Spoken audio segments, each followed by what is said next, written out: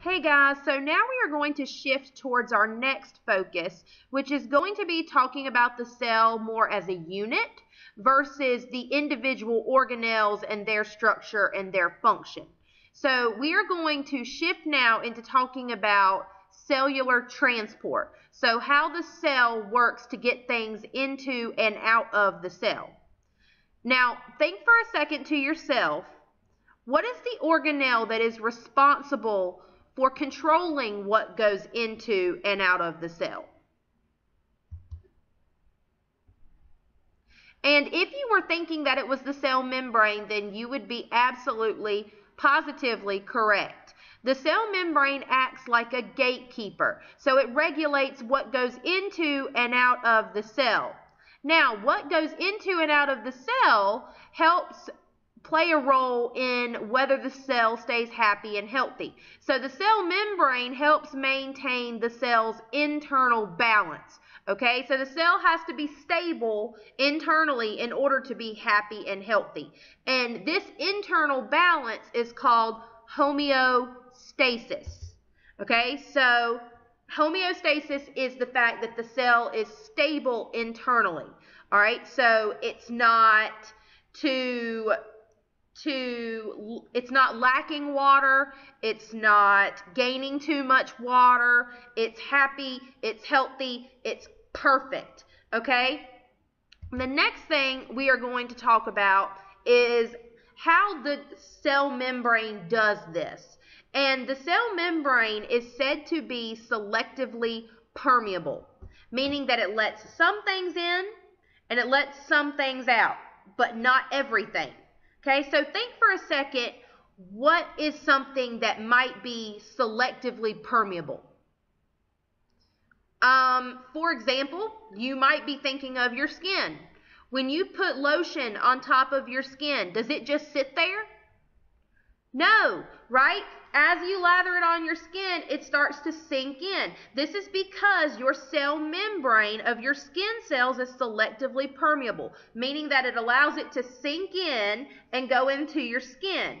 Now, think for a second, what might be something that is the total opposite? What is something that is, um, let me see, non-permeable, okay? If you're thinking about something like a raincoat, that is an excellent example. When you wear a raincoat when it's raining outside, does it let the water in? No, right? It's said to be non-permeable, meaning it doesn't let anything in. All right, so now let's shift now into talking about how the cell membrane is selectively permeable. So how it does this.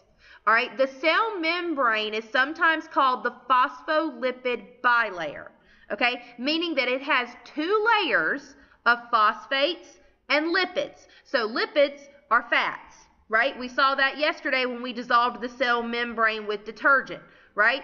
It's fatty, okay? So it's said to have a double layer or a bilayer, so two layers of phosphates and lipids. Now, this phospholipid bilayer, in one single phospholipid, you have a hydrophilic head and a hydrophobic tail. Now, hydrophilic. Hydro means what? Water, right? Like hydroelectricity, okay? Means water. Now, philic means loving. So water loving, meaning it loves water. So this is the part that is facing outward towards the external part of the cell, okay? Towards either the part that is going to touch water. All right, now you also have a hydrophobic tail. All right, so hydro means water, right? Phobic means hating. It's a fear, right? You don't like something. So, like if you have arachnophobia, you're scared of spiders. All right? Hydrophobic tails hate water. So they're facing inwards. So they don't touch the water. The hydrophilic heads are facing outwards so that they can touch the water, and the hydrophobic tails are facing inwards so that they don't touch the water. All right, now that is the structure of the cell of the cell membrane. That is what it looks like. Okay? Now, let's move into what exactly it does in order to get things into and out of the cell. And it does this in two ways. It does this by passive transport and by active transport. Now, in passive transport, this is a process that does not require any energy at all. Okay, so no energy. So when you think about someone that's passive, you might think about someone that doesn't really do a whole lot. They don't really expend a whole lot of energy. And this is exactly how it is in passive transport. You don't have to have any energy to move any molecules. Okay? Now, in passive transport, you are moving things from an area of higher concentration to an area of lower concentration, right? I mean, that's obvious. If you're standing in a large group of people, what do you automatically want to do? You want to get away from them, right? You're moving from an area of really high concentration to an area of really low concentration. All right. Now, there are three types of passive transport there's diffusion, there's facilitated diffusion, where you actually use protein pumps to push particles across the cell membrane, and then there's osmosis. So, in diffusion and osmosis, things just automatically diffuse across the cell membrane. They don't have to have anything to help them. In facilitated diffusion, you have to have something to help you. So you have to have a protein pump. Okay?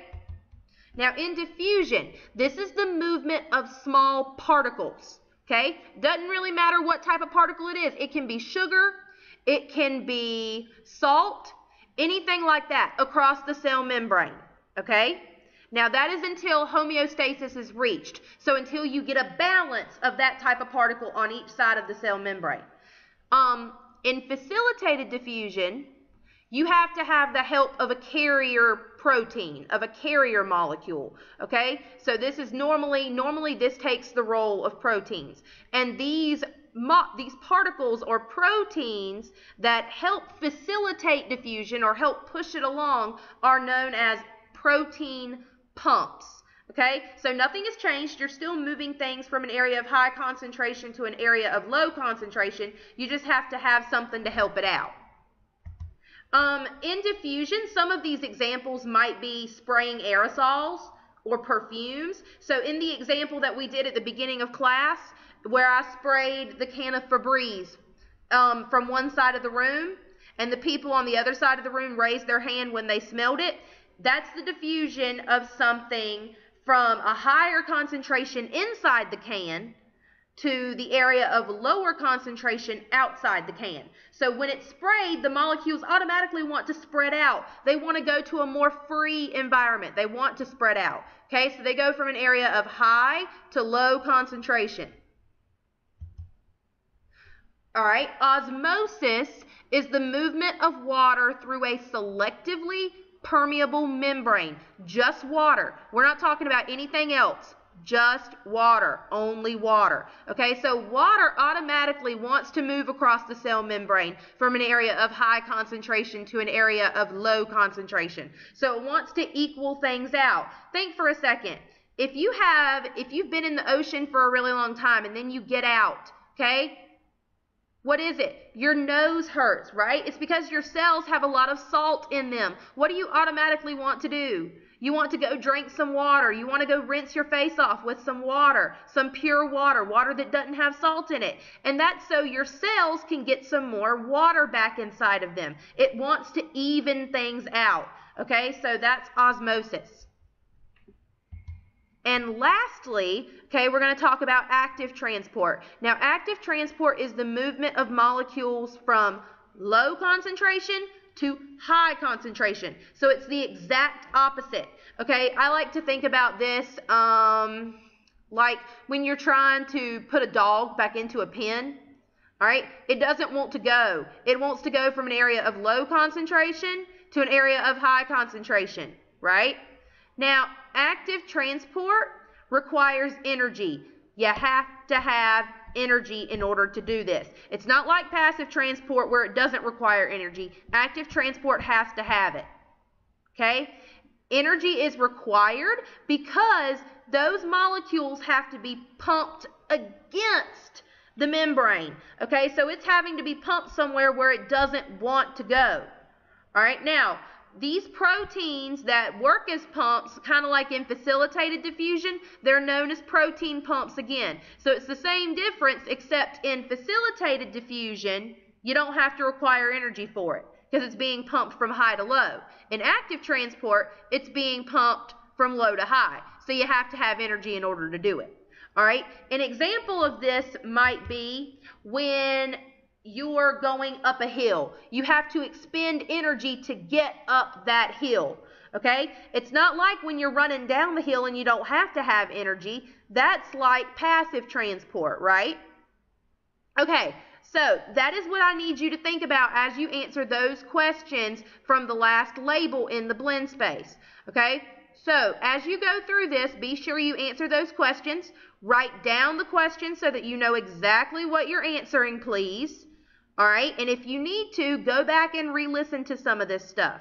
Okay? When you get done watching this PowerPoint, you need to move on to the next label. I'm going to have a couple of videos there to help explain to you um, the more, the more, I guess, um, com complex aspects of passive and active transport. So make sure you watch those so that you can get a little bit more information about it and I will talk to you guys soon. Hey guys, so now we are going to shift towards our next focus, which is going to be talking about the cell more as a unit versus the individual organelles and their structure and their function. So we are going to shift now into talking about cellular transport. So how the cell works to get things into and out of the cell. Now, think for a second to yourself what is the organelle that is responsible for controlling what goes into and out of the cell? And if you were thinking that it was the cell membrane, then you would be absolutely, positively correct. The cell membrane acts like a gatekeeper, so it regulates what goes into and out of the cell. Now, what goes into and out of the cell helps play a role in whether the cell stays happy and healthy. So the cell membrane helps maintain the cell's internal balance. Okay, so the cell has to be stable internally in order to be happy and healthy.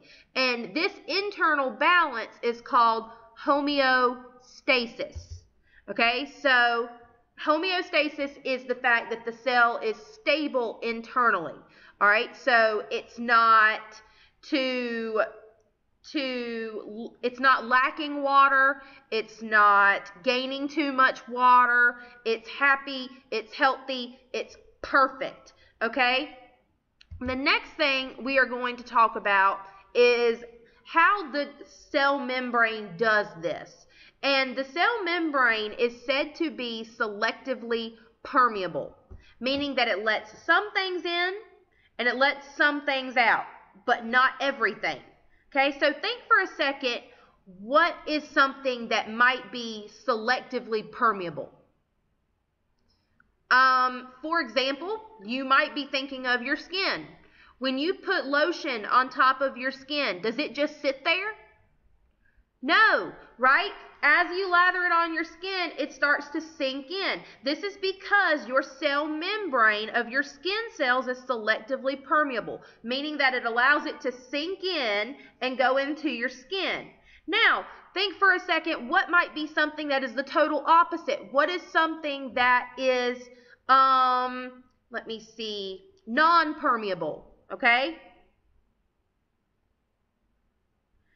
If you're thinking about something like a raincoat, that is an excellent example. When you wear a raincoat when it's raining outside, does it let the water in? No, right? It's said to be non-permeable, meaning it doesn't let anything in. All right, so now let's shift now into talking about how the cell membrane is selectively permeable. So how it does this.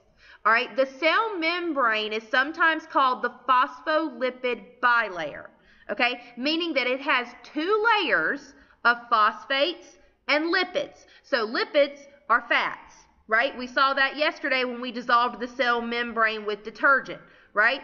It's fatty, Okay, so it's said to have a double layer or a bilayer, so two layers of phosphates and lipids. Now, this phospholipid bilayer, in one single phospholipid, you have a hydrophilic head and a hydrophobic tail. Now, hydrophilic. Hydro means what? Water, right? Like hydroelectricity, okay? Means water. Now, philic means loving. So water loving, meaning it loves water. So this is the part that is facing outward towards the external part of the cell, okay? Towards either the part that is going to touch water. All right, now you also have a hydrophobic tail. All right, so hydro means water, right? Phobic means hating. It's a fear, right? You don't like something. So, like if you have arachnophobia, you're scared of spiders. All right, hydrophobic tails hate water. So they're facing inwards. So they don't touch the water. The hydrophilic heads are facing outward so that they can touch the water, and the hydrophobic tails are facing inward so that they don't touch the water. All right, now that is the structure of the cell of the cell membrane. That is what it looks like. Okay? Now, let's move into what exactly it does in order to get things into and out of the cell. And it does this in two ways. It does this by passive transport and by active transport. Now, in passive transport, this is a process that does not require any energy at all. Okay, so no energy. So when you think about someone that's passive, you might think about someone that doesn't really do a whole lot. They don't really expend a whole lot of energy. And this is exactly how it is in passive transport. You don't have to have any energy to move any molecules.